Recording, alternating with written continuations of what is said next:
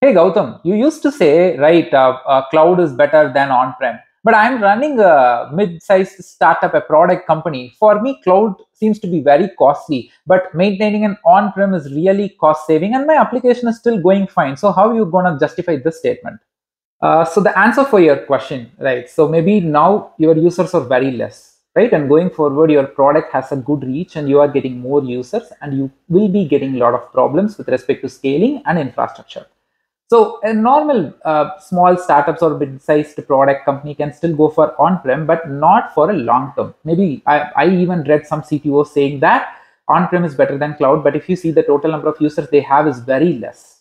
Okay, so they can say this. But maybe in future, if you track the same CTO, they will be uh, maybe they write a LinkedIn post or Twitter says like we have migrated from on-prem to cloud because that is obvious. So the point when you say like cloud is costly, right? So it's not about that. It's about like how efficiently you are using it right? So that is where like uh, the lag is, and then we are getting more billing from the cloud providers. So when we use efficiently, we will not be uh, paying much to the cloud environment.